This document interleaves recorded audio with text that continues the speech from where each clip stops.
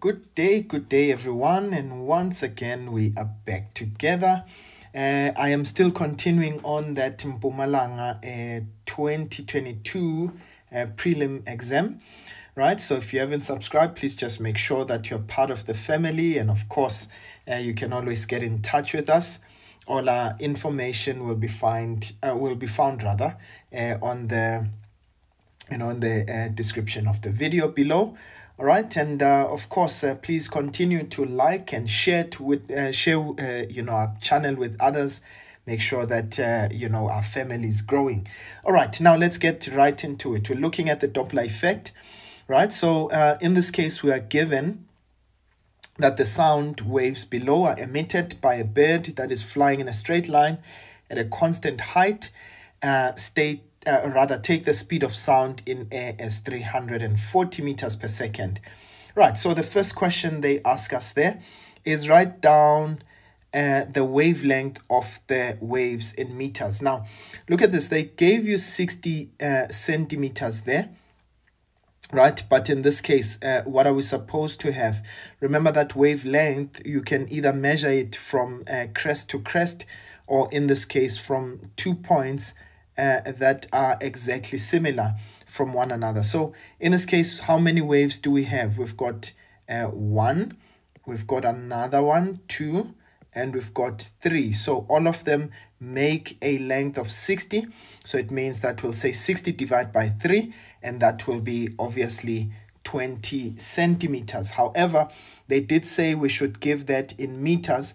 So remember 20 centimeters, you say 20 divided by 100, so that would be uh, 20 over 100 there.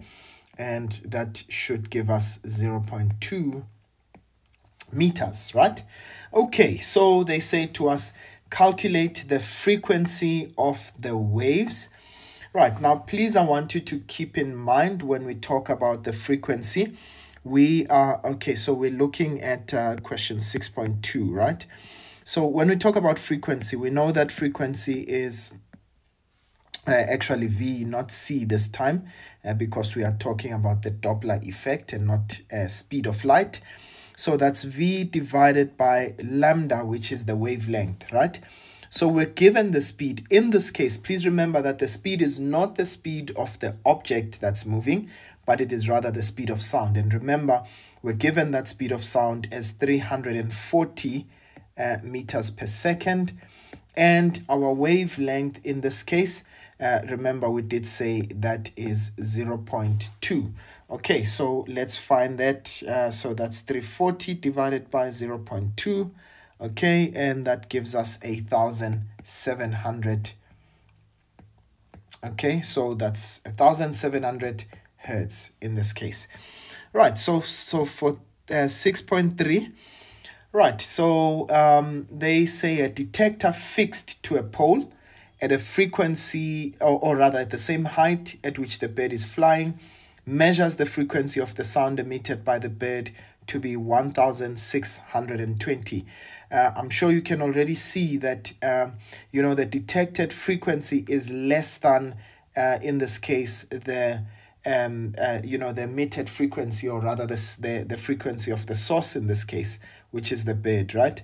So obviously that simply means that, uh, you know, the bird must be moving away from uh, that detector there.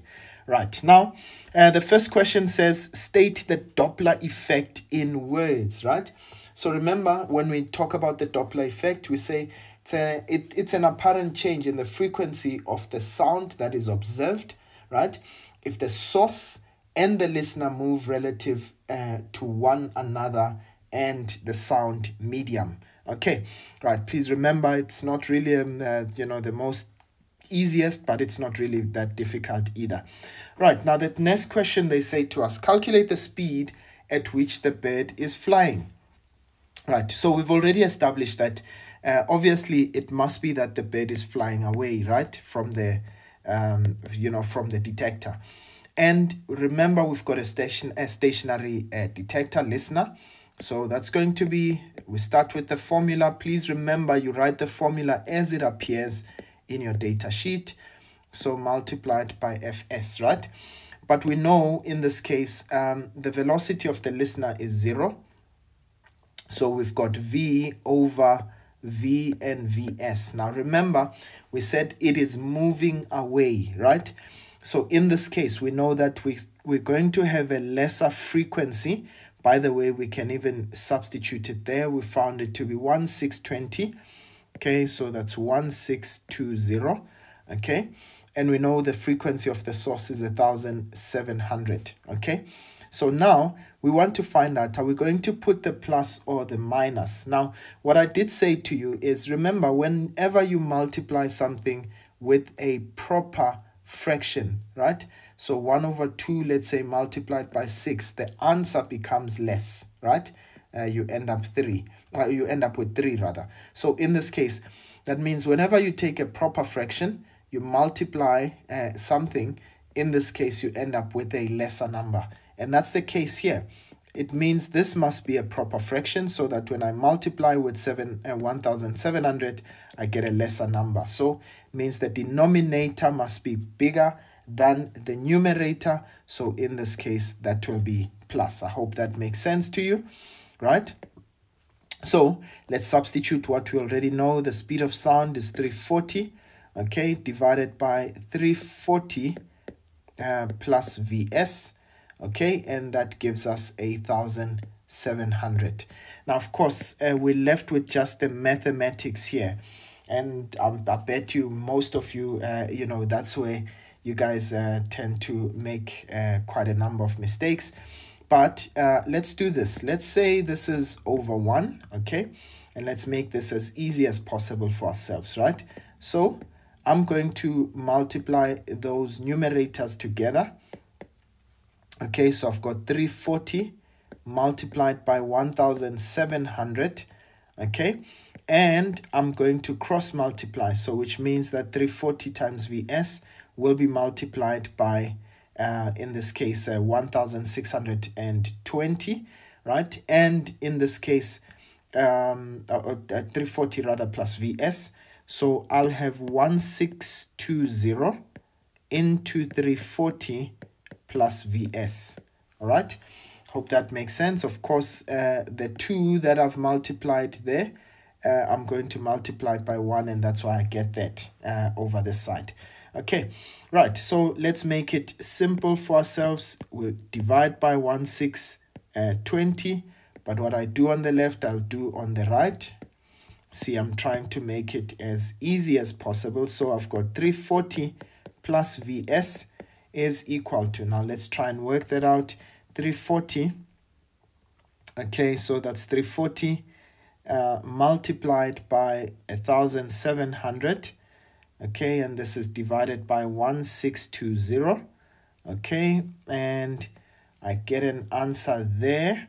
Okay, and now I'm going to take that 340 and subtract from that answer in this case. So that's minus okay so let's subtract 340 and I get an answer there which is 16.79 okay so my answer would be 16.79 meters per second all right and that would be the speed of at which the bird is flying okay uh, actually uh, let's remove that there Okay, so VS is 16.79. Please verify that with me. Okay, and they ask us the question finally, is the bird flying towards or away from the detector? And of course, in this case, it would be flying away. And how do we know that? Because the detected frequency is less than the emitted frequency of 1700. Okay, Right, and that's it, uh, how the cookie crumbles when it comes to the Doppler effect. I hope that you were able to follow and that, of course, you will be able to answer uh, whether uh, now or in future, even as you prepare for your exams, you'll be able to answer those questions. All right, otherwise, from me, your favorite uncle, I'll see you guys again next time. And please don't forget to like, don't forget to also uh, just recommend or uh, in this case share with as many people as possible. Shop shop